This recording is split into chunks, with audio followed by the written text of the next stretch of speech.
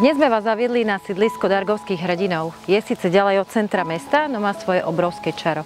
Poďme sa už ale pozrieť na byt, ktorý sa nachádza na Benádovej ulici na 6. poschodí.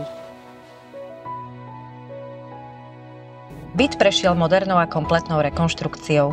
Kuchyňa sa píši nábytkom stavaným na mieru spolu so zabudovanými spotrebičmi. Veľkým benefitom môže byť pre vás aj raňajkový pult, ktorý využijete pri príprave jedla ako pracovnú dosku. A aby medzi vami nebolo dusno, v horúcich letných dňoch oceníte klimatizáciu umiestnenú v obývačke.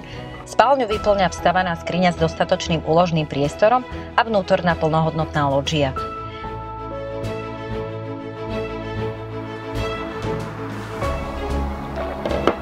A ráno si môžete vychutnať kávu pri takomto výhľade.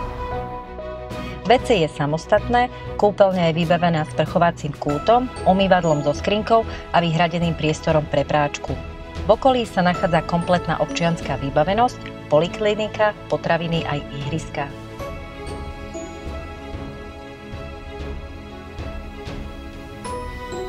A viete čo? Príďte sa pozrieť.